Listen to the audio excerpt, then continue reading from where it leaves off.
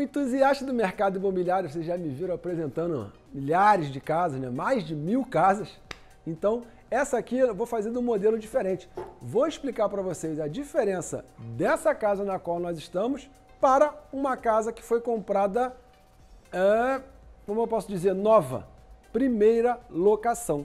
Estamos numa casa que os moradores moram aqui há um ano e meio, ou menos, estou falando um ano e meio de comprada, mas foi feita a decoração e não se mora aqui há muito tempo. Então, uma casa completamente nova.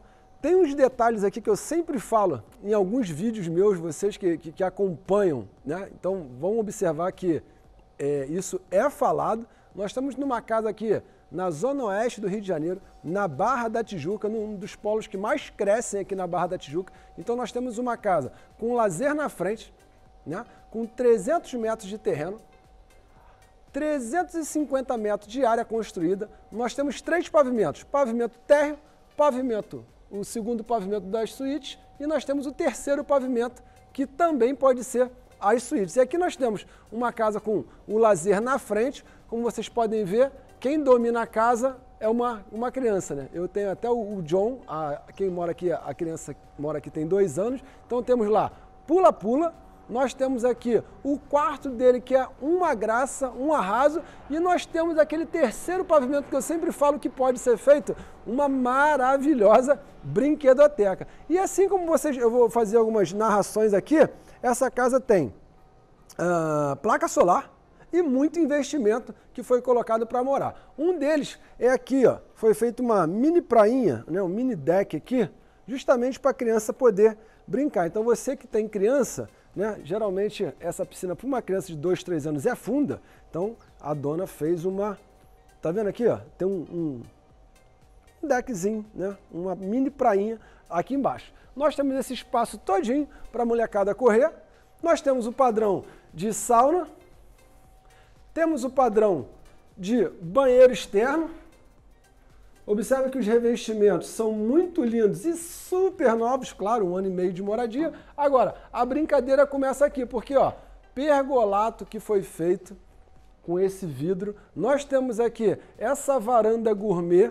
Lembrando que essa casa, como ela é porteira fechada, então tudo que vocês estão vendo aqui vai ficar na casa os ventiladores, a mesa de jantar, as banquetas, é, o conjuntinho de decoração aqui de adorno na lateral. Agora, o mais interessante é que eu vim nessa casa quando ela estava à venda nova, e eu, quando eu entrei aqui, eu falei, nossa, vocês alteraram bastante, hein? E isso é bacana para você que vai comprar agora. Porque olha só, esse gourmet, um gourmet que ele fica completamente arrumado, você consegue receber aqui bastante pessoa. Foi por isso que foi feito esse pergolado para a varanda aumentar e você ter um uso ali de uma maneira mais confortável um dia de sol, é, de muito sol, o dia de chuva, o dia de vento, isso tudo.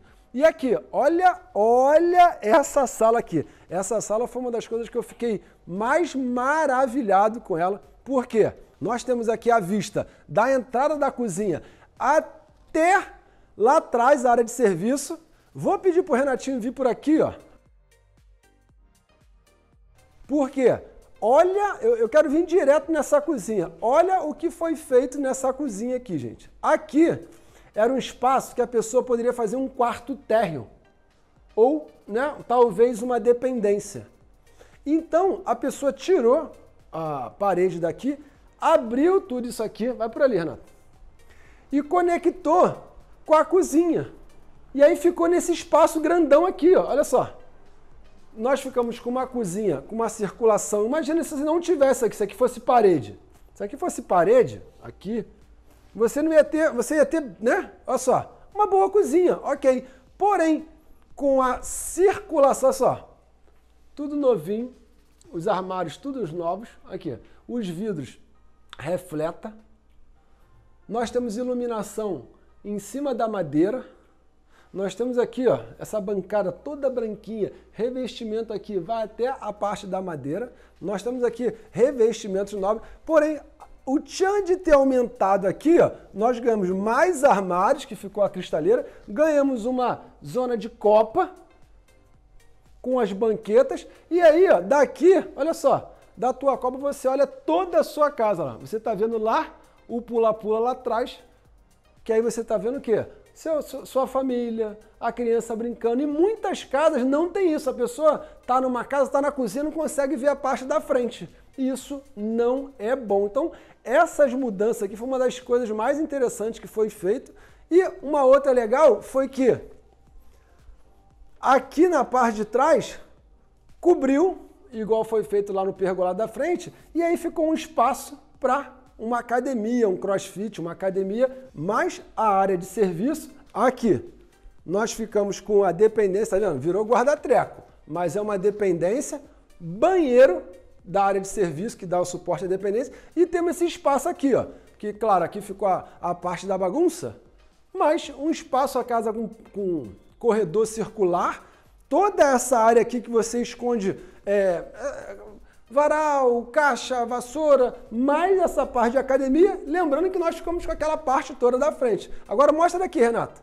Exatamente daqui, olha lá. Daqui, você está da área de serviço, está malhando aqui na parte de trás, você vê o portão da entrada e a piscina. Então, são esses detalhes que fazem toda a diferença. Agora, para você sair de uma casa nova, sem armário nenhum, e você chegar no nível dessa aqui, gente, olha, bota dor de cabeça, bota muita criatividade, bota tempo e muito investimento. Não sei se vocês observaram, nós passamos por uma adega embutida, nós passamos por um, um lavabo, esse espaço aqui foi colocado, essa, esse adorno, isso aqui dá um aconchego na casa. Na parte da sala que eu passei direto aqui, ó, foi feito dois painéis. Esse painel maravilhoso, com iluminação e o painel da televisão. Olha lá, toda iluminação em volta.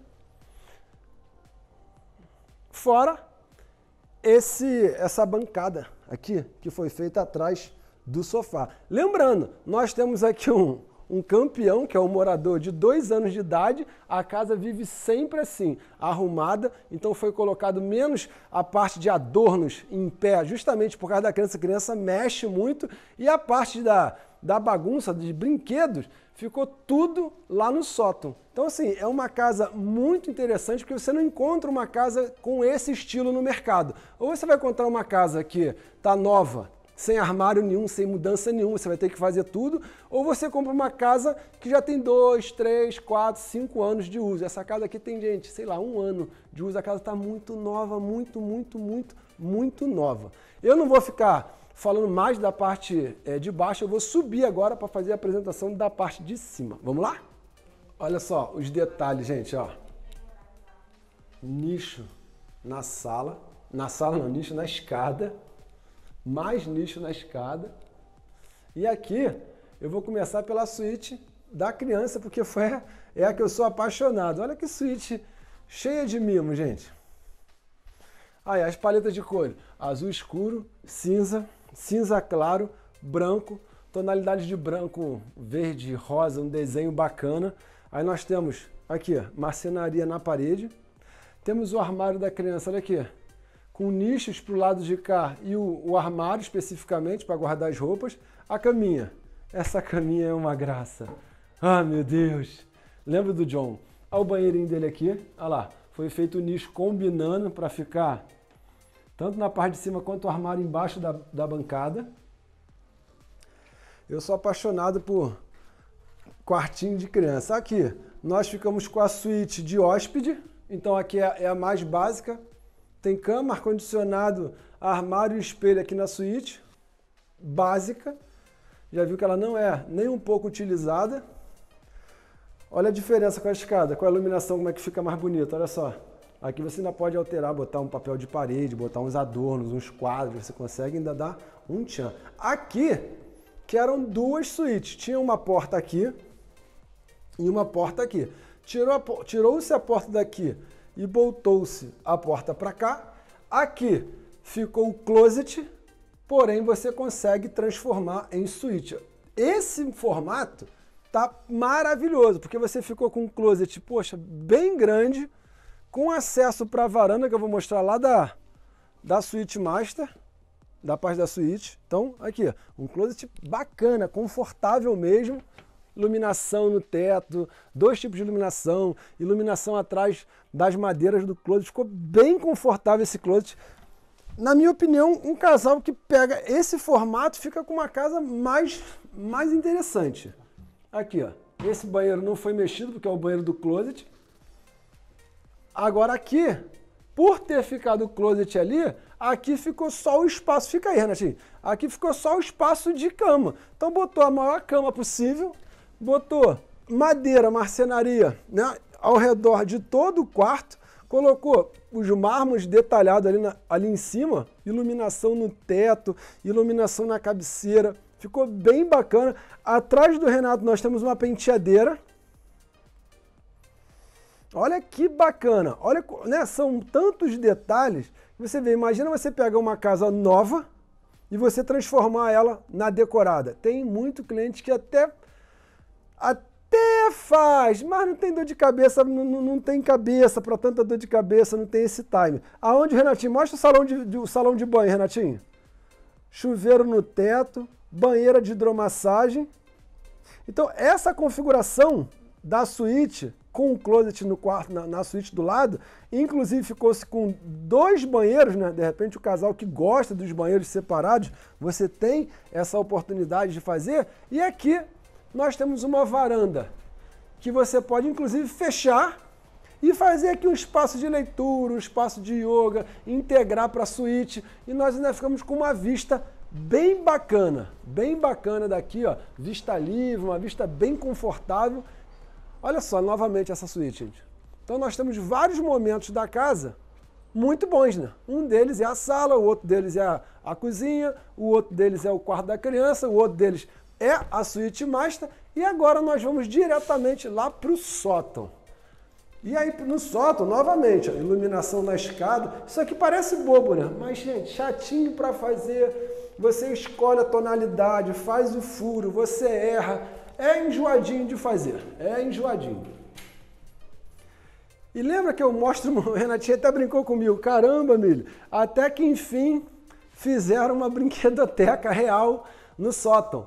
Porque nós temos, vai lá no final, Renatinho, todo esse espaço aqui, olha só, que não é pouco, de brinquedoteca. Foi colocado nichos em madeira, que é o espaço da criança. Lembrando, nós temos um banheiro Fica aí, Renatinho. Nós temos um banheiro com chuveiro aqui, um banheiro completo. O que, que isso tem a ver, Milha? Você consegue fazer daqui, ó, uma suíte ou uma suíte master, ou dois quartos, ou sala de vídeo, mais escritório, mais suíte, ou mantém a brinquedoteca, ou diminui a brinquedoteca e você tem mais um quarto e mais um escritório para o lado de cá. Uma infinidade de possibilidades. Então, assim, é uma casa muito interessante, vai vender rapidinho, aproveita. Espero que vocês tenham gostado da apresentação. Até a próxima casa e tchau! Gostou desse vídeo? Já deixa o seu gostei, ative as notificações e lembre-se, se inscreva no canal. Ah, temos outros imóveis similares a esse. Vou deixar o link aqui na descrição para você visualizar. Até logo!